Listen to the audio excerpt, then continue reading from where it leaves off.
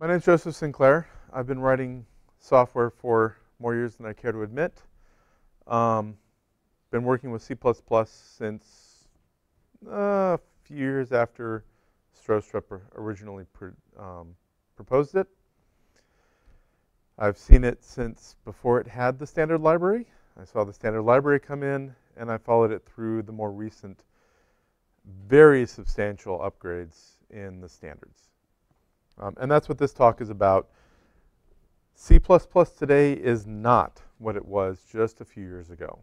And that's important because the language has gotten far more powerful and far easier to use. Um, I've included up here on screen just a few examples of things that are new in C++ that make it much easier to write clean and correct code. Now, one thing that's always been a problem with C++, with any C-based language, has been memory management. That's the core difficulty of most C programs. Um, in 98, the first true standard for C++ was released. And it had a few nice things, and it had a few really bad things in it. Um, in 2003, a standard was released by ISO that almost everyone just completely ignored. Uh, the reason for that is it didn't do a whole lot. Um, it didn't fix things that people cared about, and more importantly, some of the primary compiler vendors just completely skipped it. They said, nope, we don't care. We're not going to implement that standard. Um, in 2006, that started to change. Most importantly, Microsoft actually started to listen to the standards community and began to pay attention to the standards. That was critical because that was the key blocker in really moving standards forward. Um, they still slowed things down, but by 2010 they were on board pretty strongly with getting the standards moved forward. And in 2011 we finally got a proper new version of the standard. We've had a new version of the standard every three years after that. So we have the, the C++ 11, there's also C++ 14, and last month the executive committee voted to approve C++ 17. ISO hasn't approved it because it has to go through a final review process, which this being the International Standards Organization takes several months, but it will be approved hopefully by the end of the year, if not very early next year. So, what's changed? This is big. So, we have a few things. First of all, there are limitations to using it, but there is an operator quote quote. May not sound like a big deal, but you now have string constants. Not character constants, string constants. So you can actually declare a constant standard string. In fact, I've got an example here where now you don't have const expr, and I'll get into that in a minute. And I have the wrong character there. That should be an ampersand because I can't type in the middle of the night. Um, you can have a string reference that is const and refers to a const value. Now, in most cases, if you tried that without the operator, it's just going to go poof, and you'll get a weird reference that's off in the middle of nowhere because that string value is not going to stick around. But thanks to that S at the end, the operator actually converts it to a statically held constant string that is in constant global memory, which allows me to use a string reference, which is const, and it pushes the whole thing into the compiler's world, not your runtime construction. Bigger than that is right below it here, string view. Now this is new for C++ 17. So it's experimental in the GNU compiler prior to version 7. Um, it's still somewhat experimental in 7, but it's an inline namespace and you can ignore it. Um, shortly after the beginning of the year, the latest GCC should have that out of experimental and in final um, namespace if you implement dash, dash std equals C++ 17. um, what a string view is, a string view is actually a view into a string. So it doesn't hold the memory itself. It holds reference to a portion of a string that's held somewhere else. Now, you can't see it because I don't have room for it, but I'll scroll over here. The operator for that is SV for string view. Now, what string view allows me to do is create what's called a const expr. Const expr is an expression that you've told the compiler is a constant expression. There are some rules around this, and they vary depending on how recent your standard is. But the key is, if it's a scalar variable, it can be const expr, which means the compiler takes care of all the construction, all the memory management. It is handled before you complete your, your compilation. So your references to it are references to fully constructed global memory. If it is a simple enough object, most critically, its destructor must be trivial. Then it can be made const expr. If it can be made const expr and it's an object, the same thing. It is constructed at compile time. So this string view costs absolutely nothing at runtime. And critically, I can use it anywhere that I could use a constant. So if I took that string view reference and placed it somewhere that's expecting, the compiler is expecting a fixed constant, it will work. The compiler will accept it and will place it in. Because the compiler has it fully constructed at compilation time. This is one of the ways that you can re reduce static memory allocation at runtime and clean up some of the race conditions that happen during static allocation. Other things. We have for each loops.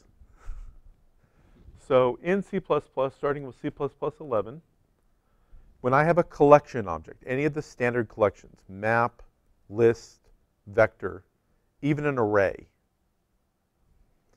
I can do an, an iteration through those without having to be specific about iterators and all the other complexities that come with iterating. I can just say for, and I can I used auto here. The auto, this was a big change in C++ 3. The auto keyword no longer describes storage. It actually just it actually allows you to put it as a placeholder for a type. And it tells the compiler, I don't really know what type this is, I think it's roughly this. Figure it out for me. The compiler infers the type based on what you're referencing. So in this case, the type of, the templated type of your collection would be what's replaced, what replaces that auto keyword. But the key here is that the compiler internally emits all of the code necessary to iterate through the collection, assigning in each iteration of the loop the, the dereference of the iterator to the variable I've declared. So the variable here, test, will be of the type of the templated of the templated type of the collection. Um, so to put this a little more simply, let's say that collection here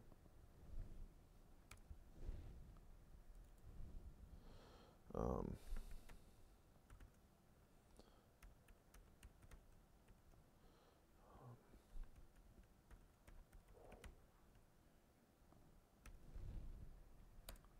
sure I got that right, and of course I didn't because I can't type with these lights in my face. There we go. Very reflective keyboard.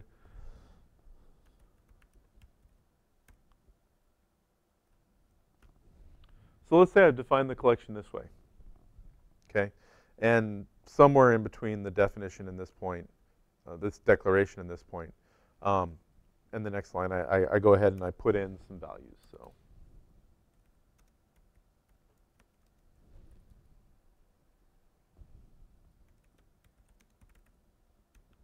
Okay, so we, we put some values in it. What test is going to be at this point is a standard string, which itself is a templated type. This can get pretty complicated. Um, a piece of code I was working on just recently, the template type for the vector is almost two lines of text at 80 characters per line because it's a template of a template of a template of a template of a template. Um, unfortunately, there are no type defs for any of that. And that's primarily what auto is for, is just simplifying the code so that you don't have to type out these very, very long, very complex template instantiations. You can just say, hey, compiler, you know what this is? Put it in there. Um, this also gets a little more a little more useful with maps because the standard map uses a pair as its iterator type. Um, and so trying to type out standard pair template this, template that, template this is a pain in the neck and auto just saves typing. Um, it also helps when you're developing and you're not sure what the type is going to be until you're done and you keep changing it for whatever reason, you don't have to retype all your autos. Um, so it just simplifies things. So in this case, test would be a standard string. It's actually a reference to standard string, so it's a reference to the value. Um, the value there is that, I don't, again, I'm not dereferencing things all over the place. I just say, hey, I have my string. I can do whatever I need to do with it and continue on. Um, if I made it const, so if I go up here and say this is a vector of const standard string, great. I don't have to retype the next couple lines. It's a const standard string in the iterator as well. Again, saves me a lot of headaches. So that's a nice improvement. There are a lot of these throughout the standard library and throughout the code. There are a lot of new, uh, there are seven or eight new keywords. Um, const auto, a few others. Auto's a reuse of an existing keyword. Um, and the goal for a lot of this is just to make the language smoother. Something that was in C++3 that a lot of people missed, and part of the reason the compilers refused to implement it was because there was no way to turn it off until C++11. That is, every object gets a constructor, a destructor, a copy constructor, and the equal operator. If you, whether you des describe them or not, even if you make them private, they exist and they will be used. If you create an object in C++3 or later, which is all compilers at this point, Every object you define, even if you call it private, you will get a copy constructor. It will get used. So if you declare it private and it's wrong, it'll get used anyway and your code won't work. And it won't work in very strange and unexpected ways. The only way to prevent the creation of equal operators and copy constructors is like this.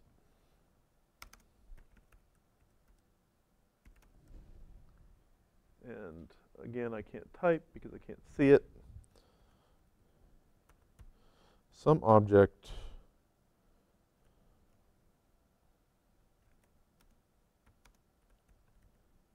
like that. So if you declare, now this would be your default constructor, but if I say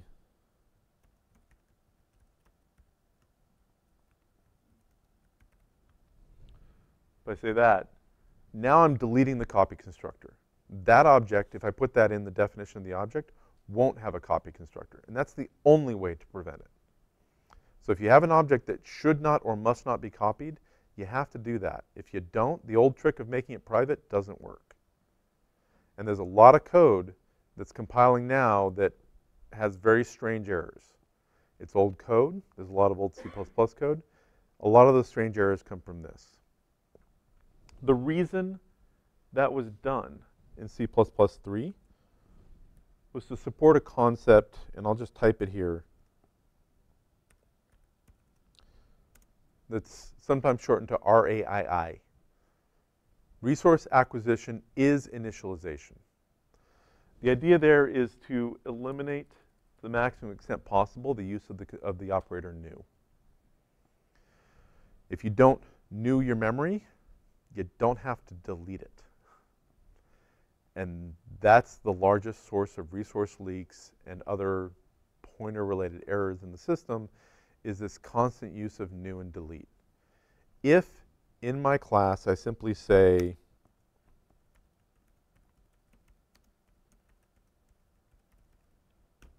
something like that,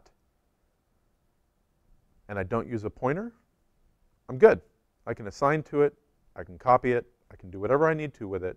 It's allocated when the object is created, it's deallocated when the object is destroyed, and I don't have to do a darn thing. Well-constructed C++ 11 or later code usually has empty constructors and empty destructors because your objects are allocated this way. The only time you still need pointers is when you're using polymorphism. If you have polymorphic objects, you got to use a pointer because polymorphic objects cannot be referenced as their base type directly. Only a reference or a pointer can be polymorphic.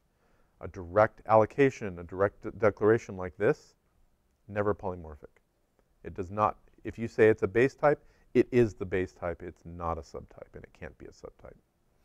It can't receive a copy of it either. So you do have to be a little careful when you have objects that inherit from other objects because there you still have to use pointers. If you don't inherit though, and a lot of the, most of the standard library doesn't have any inheritance at all, it's pure templates, then you don't need to worry about it. You can just allocate directly. When you need pointers. So in C++ 98, they created this thing called standard auto pointer, which turned out to be a really bad name because people thought, oh, this is a pointer that just automatically takes care of its, uh, of its memory. Not exactly. Standard auto pointer had an interesting characteristic in that if you copy an auto pointer, whatever you copied invalidates itself. So if you said standard auto pointer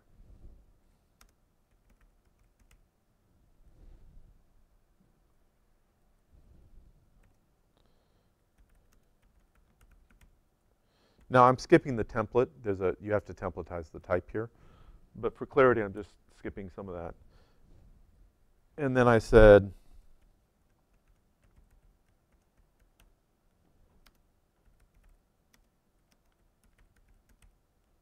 something like that.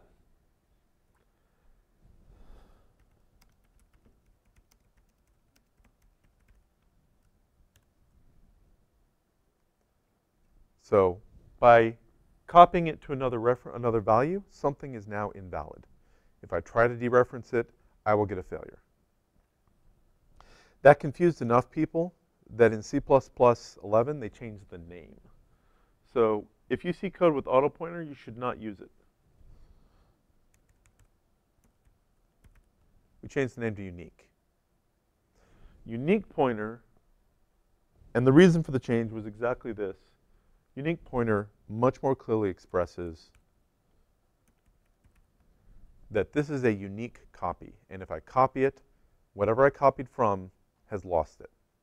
Now, if I need to have two things owning the pointer, don't use unique pointer. Use shared.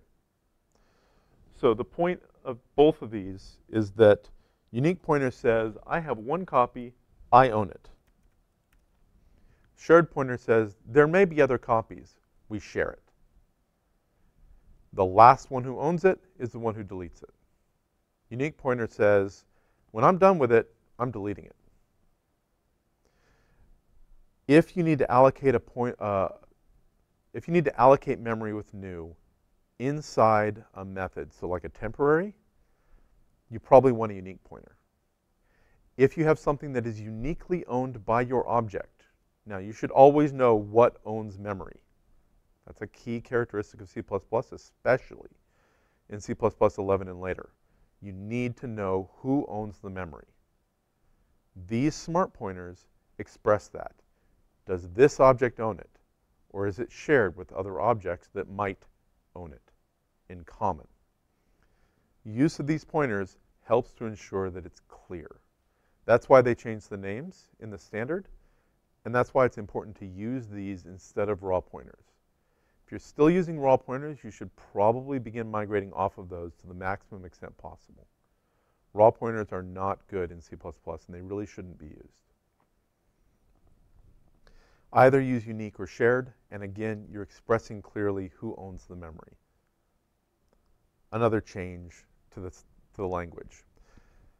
A lot of this is around a lot of this occurred because the standards committee made a very explicit decision. C++ is not C. They're different languages. They've always been very different languages. And they aren't even truly binary compatible. They can be made to be, but they truly aren't. And it's only the linker's ability to understand both that allows us to link them. Libraries written in one to libraries written in another. But they don't actually generate compatible object code. Um, they're mangled in different ways, and so the object code is, is not matchable. Um, but the linker understands both and sort of hides that from us, which is good. It allows a C++ program to use C libraries and vice versa. It's a good thing. Technically, the C library gets upgraded to C++ if you do that. Slight tweak. But they're not the same language. And the committee has very clearly begun to move away from any similarities. Um, one of the things that's interesting in C, I'm going to go ahead and delete this. I should have had a W there. I apologize. Again, I can't see what I'm typing. so, what happens if I declare make sure I get this right.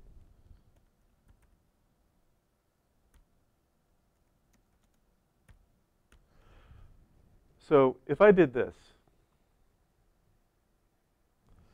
and that's the entire function, and I never use that value, the compiler is going to give me a warning. Hey, that, that thing you declared there, it's unused. Now, let's say that I know it's unused, I want it to be unused, there's some reason for keeping it there, maybe something else inspects into the code. I've got some weird byte manipulation library that goes and reads things. I need to have the value there. Okay, that's fine. Maybe I have some assembly code somewhere that interacts with this and it needs things to be aligned in a certain way. Sure, no problem. In C, this would cause all sorts of problems.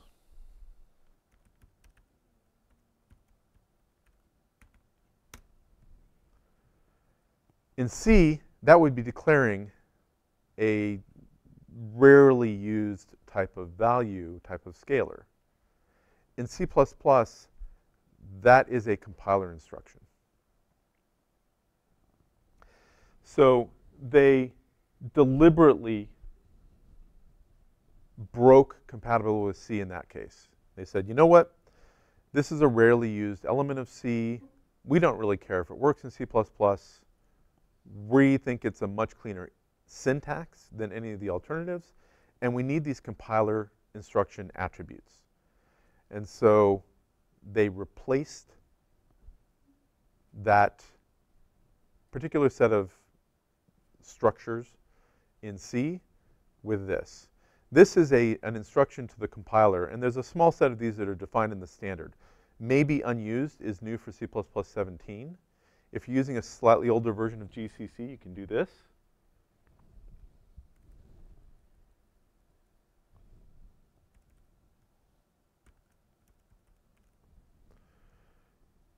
Does the same thing.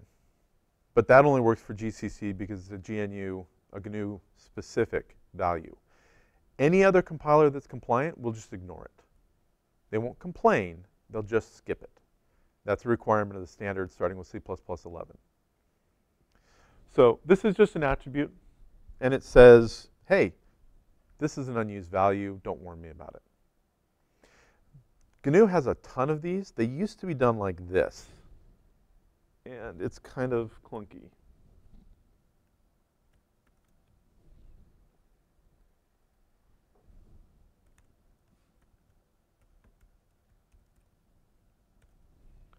It used to be done like that.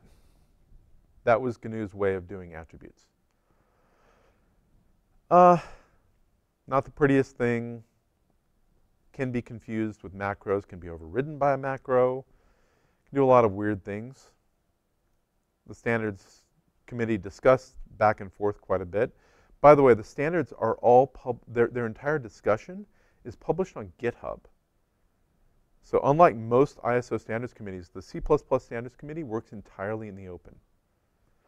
This was a big fight with ISO itself because ISO requires that all final standards be something that you pay for. You cannot obtain standards for free from ISO. The committee publishes a final draft on their GitHub, and then the actual final standard has to go through a final edit and be slightly different and then published only through ISO. They try to keep it only to textual changes, but those that there are slight differences.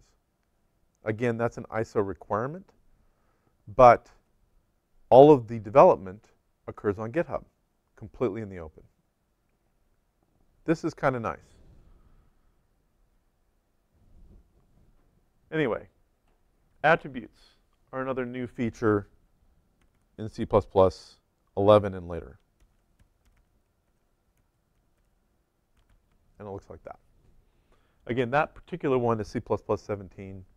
Prior to 17, you can use the GNU extension. Um, Microsoft has an extension as well, as does Clang. Um, I'm not sure about the Intel compiler.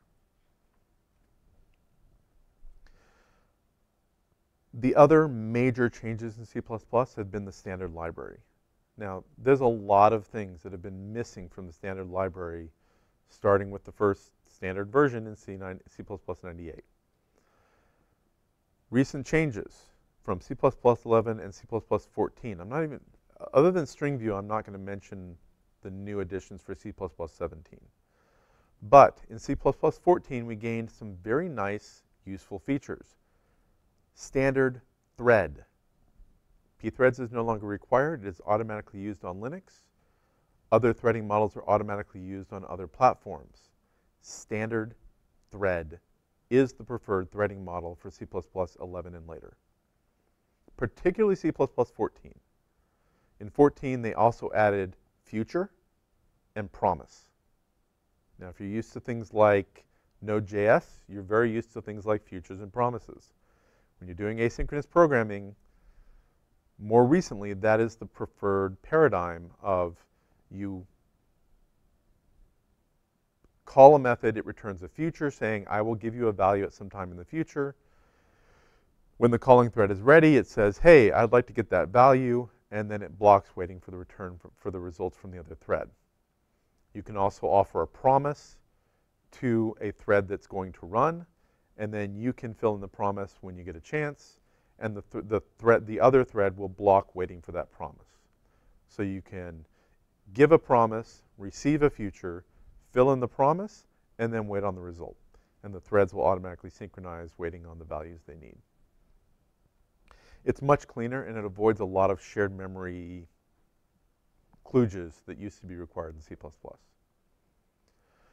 It's not perfect, but it's much better than it used to be. The standard collections have been substantially improved. Um, if you haven't looked at them in a while, you absolutely should.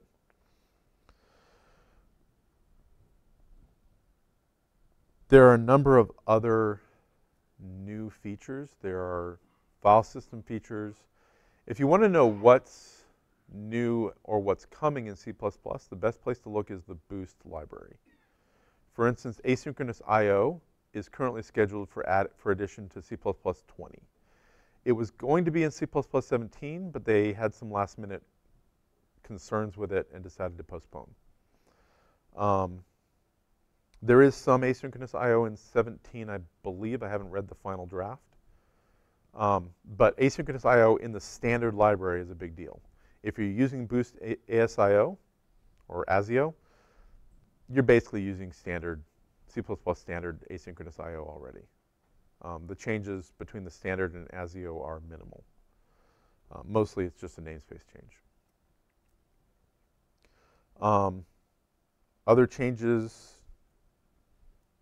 there are a number of sort of usability changes and some minor tweaks.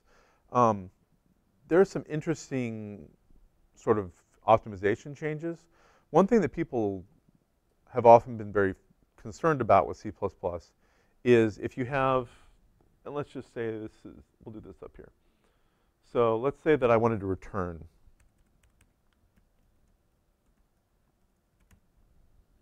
So let's say I'm returning a standard string. Now, this would be something, something of a no-no. People would be very concerned about this, primarily because, if I can see if I can type this right.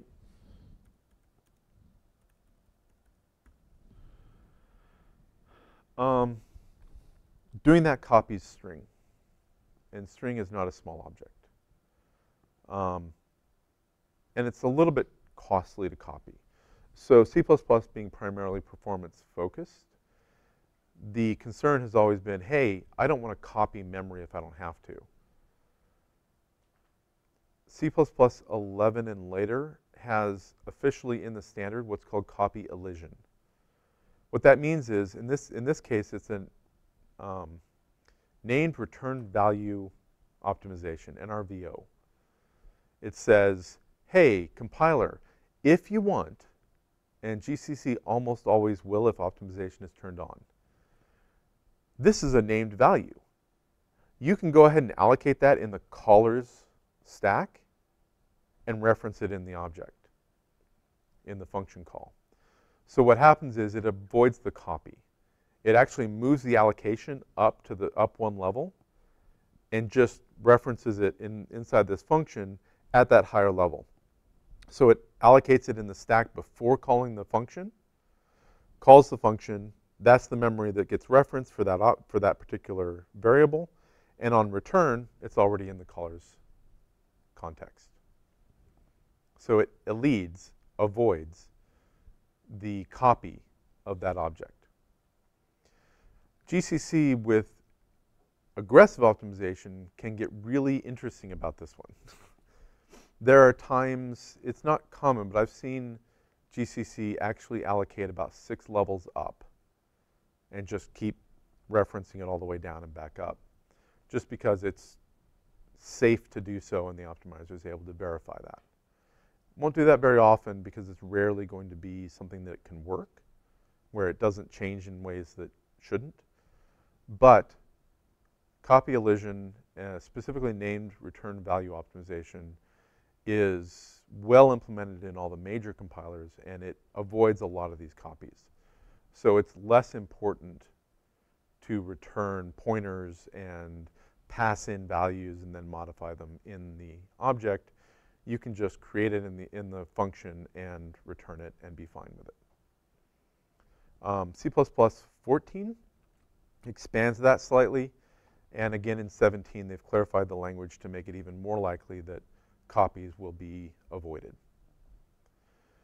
It's not always going to happen, and it can help to read that portion of the standard if you're not sure, particularly if your code is very performance intensive. But most of the time, it's not worth worrying about. Not anymore. Used to be, but not, not so much anymore. Um, returning a reference is still a very bad idea. Don't do that. um, it can work sometimes, but it's generally not wise because it actually breaks copy elision. So it ends up forcing a copy at the point of assignment is usually what the compilers end up doing. Um, beyond that, it's worth going ahead and looking at, I'll just type these in. Um, actually, I'll pull up a browser and show you. It is absolutely worth taking a look at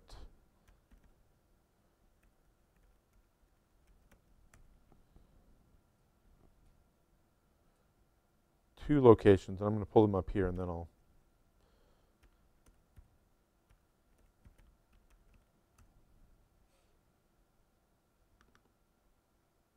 pull them onto the screen.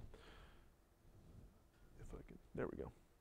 So there are two reference sites that are very useful. One, C++.com, is a good basic reference, particularly if you're not extremely comfortable with C++. Um, and it, it organizes by header, which can be very helpful if you're not sure where objects are. CPP reference, on the other hand, is far better as a reference to the library itself. Sorry, to the language itself. And is often edited by the committee members on the standards committee, Not all the time, but often. Um, I should mention a few other things you probably want to look at um, that I forgot. Um, atomic operations start, showed up in C++11 if I need an atomic int or an atomic long long. Those are available. That can avoid a lot of locking issues. There's also an automatically managed mutex lock available in C++11 where, and this is important when you have exceptions in the language, which we do, you can acquire, you, you basically just declare a guarded lock around your mutex, which creates an object on your stack that locks the mutex as part of its constructor. Its destructor releases the mutex. So if you have an exception that you didn't expect, during stack unwinding, your mutex gets unlocked and you avoid deadlocks.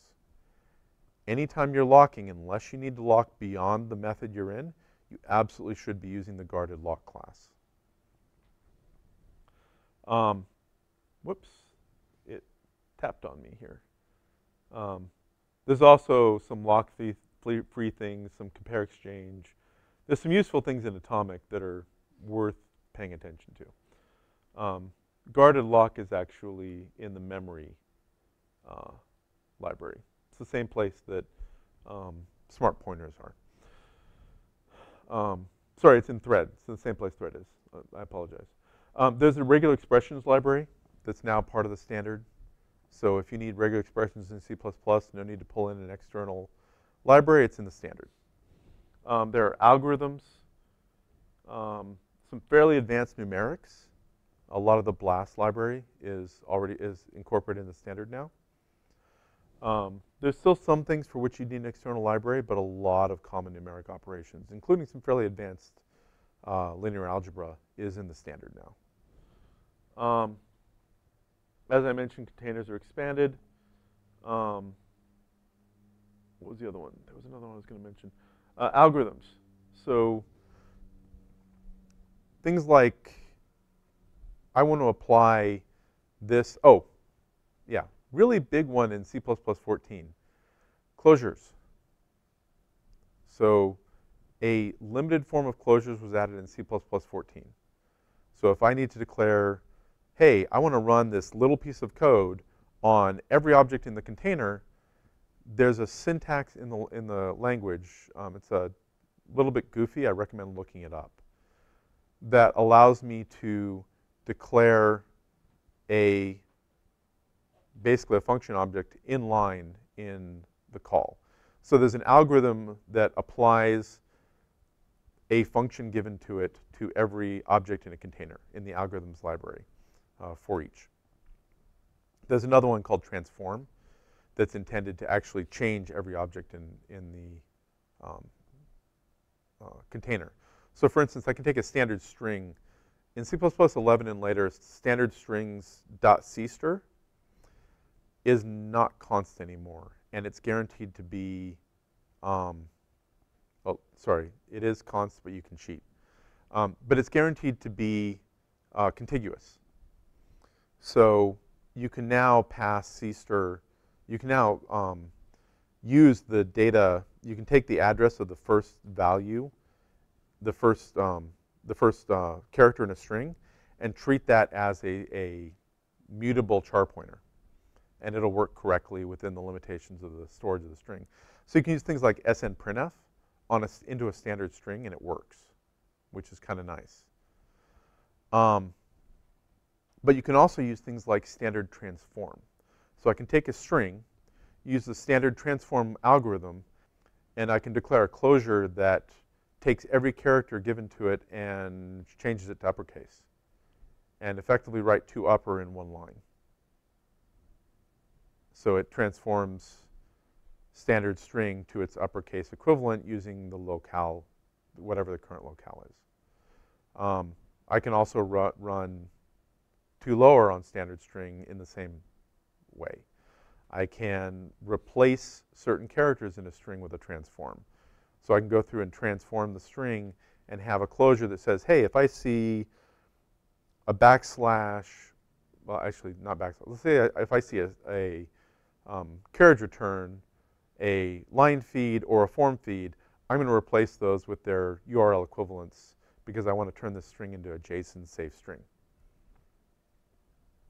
No problem. Takes about three lines. Um, again, look up standard transform, especially here because they have an example that does basically that. Um, so this is a great resource, and I recommend looking through it when you have time, especially if you're doing any sort of C++ development. Because C++ has changed enough, especially if you haven't looked at it, the, the change standards since, say, C++ 98 or C++ 03. Um, there's enough of a change that it's absolutely worth looking through this when you have the time. Start with the keywords because there's some new ones, and then work through from there. Um, in fact, I think keywords might be where that is. I'm just going to look for it real quick. Um, so you can see that there are some new keywords. noexcept, null pointer. Ah, yes. Um, if, you're, if you encounter code that, said, that checks pointers for equal to 0 or equal to null, or assigns them equal to 0 or equal to null in all caps, replace that with null, P, null PTR, please. It's now a keyword, and the compilers are cheating. They're not assigning 0 or null, you know, 0, basically. Null is a preprocessor keyword that, replace, that gets replaced with 0. They're not actually assigning 0 or checking against 0 when dealing with pointers. They know that it's a pointer. The compiler does. It has to know this is a pointer, and I'm comparing to 0, and it actually compares to whatever the null pointer is for the platform, which is never 0 on Linux, by the way.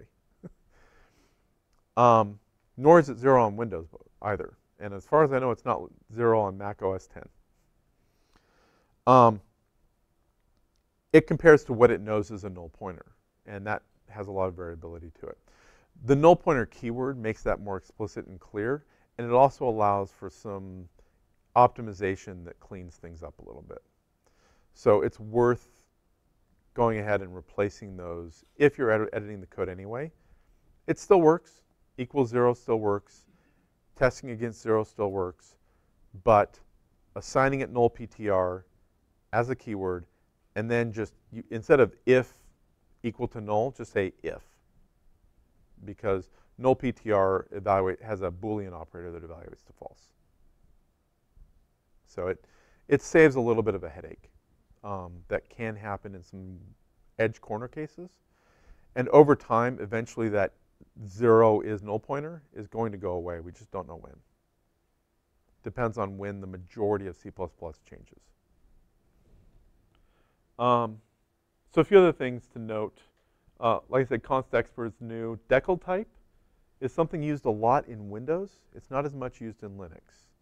Um, and it's a, a type, uh, it's a form of type declaration. It's worth looking at if you're interested. I don't use it very often. I don't know a lot of code that uses it very often, except Windows, which uses it everywhere.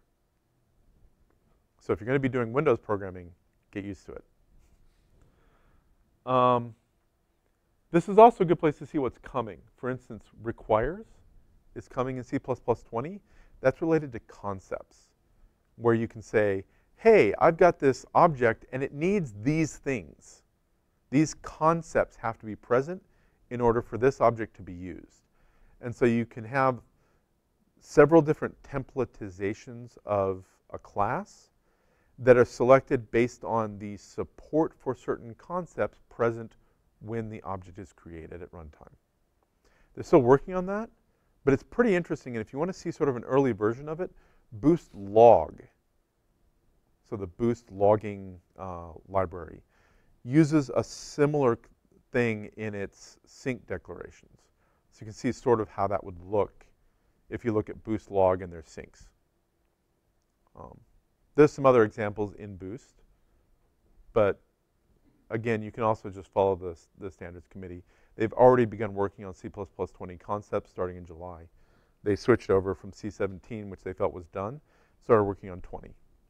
So if you follow them on GitHub, you can see some of the early work towards concepts. Uh, it started with a tech spec anyway, which is pretty fully fleshed. So if you read through that, you can see a lot of what concepts are going to look like and why these are useful. Um, that's most of the major things. Like I said, there's the big thing worth paying attention to. By the way, if you see a 1 here, like this, that's a reference that the keyword has been changed from what it used to be. So there's the early standards, and this is a keyword that used to have one meaning and now has a different meaning. Uh, again, if, if you're dealing with code that you're pulling forward, it's worth paying attention to that.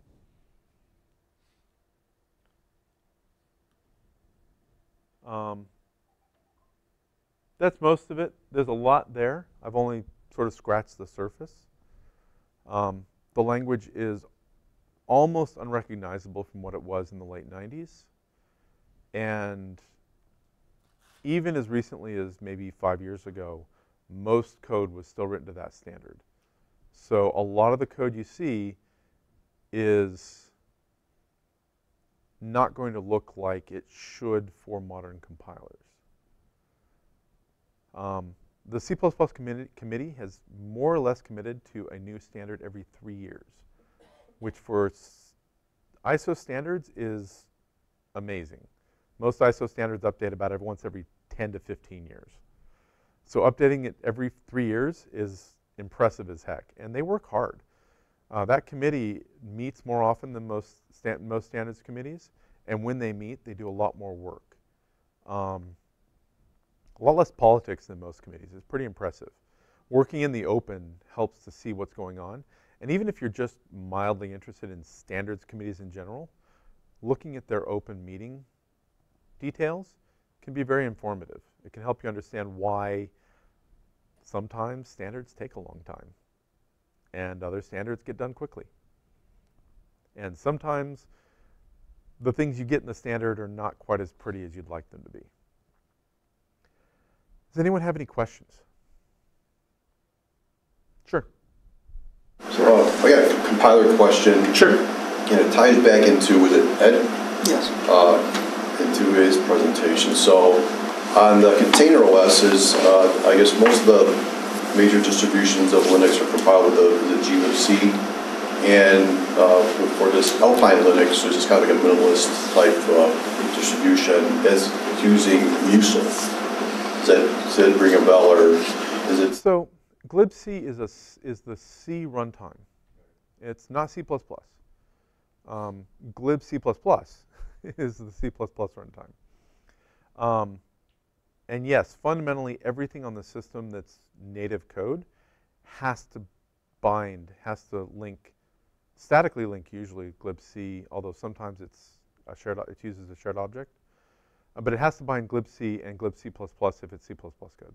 Uh, but for, for a particular distribution, using this different type of uh, C library or whatever, it gets, it gets more strict, like POSIX compliant, and there's, a, there's like a, like better uh, yeah. Compile, when it's compiled, it, it is, there's uh, more stringent standards on how it's compiled, and there's some mm -hmm. other issues in there. I wonder if you could just like talked about that a little bit. Um, well, that gets into more of the, o, the OS interaction with the runtime libraries. Um, there are some versions of Linux. Um, BusyBox kernels usually link to a smaller libc. Um, a lot of these sort of embedded Linux, Linux versions will link to a reduced libc. Um, there's some common ones. Um, BusyBox um, has theirs, which I forget the name of. Um, Wind River has their own libc. And they usually shrink down by being super tight on standards.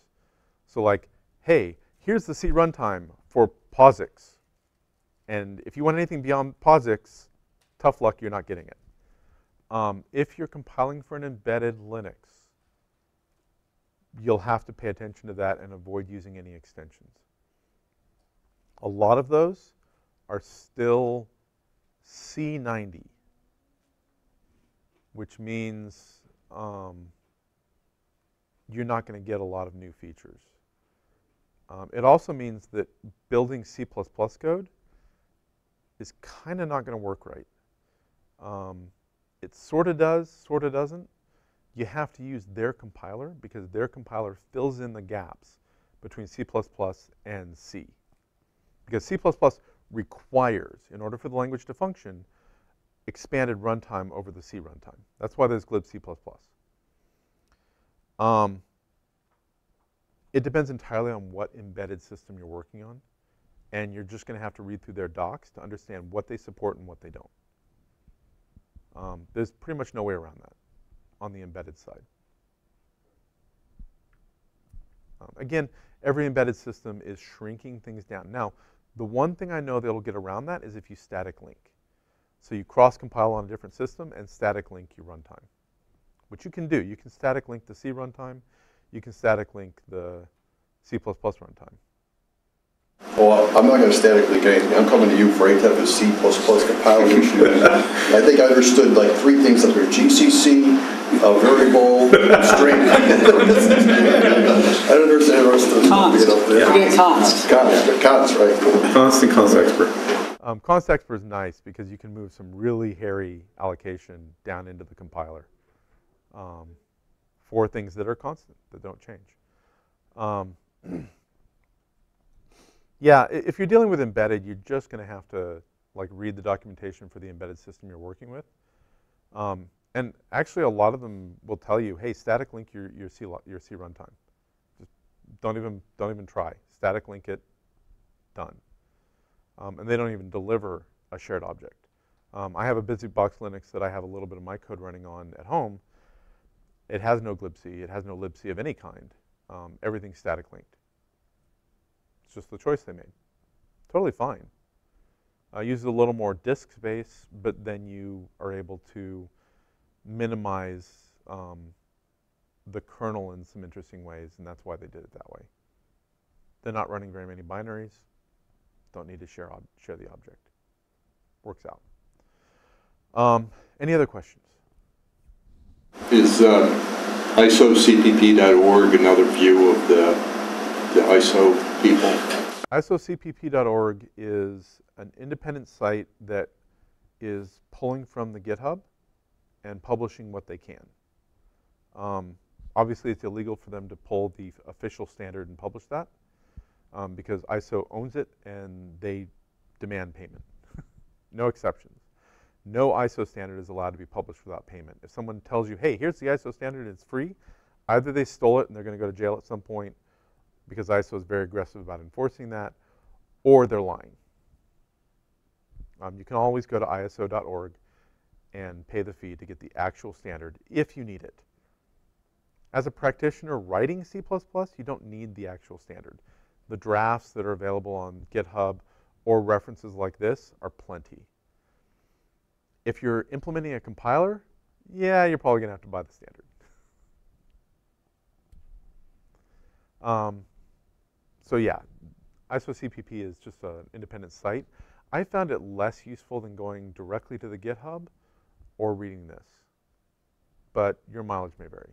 I subscribe to the feed, and interesting stuff shows up. So, and there are members of the committee that publish independently blogs and other resources, but they have to be very careful because as committee members, they've signed documentation that says, hey, I won't publish things that I shouldn't.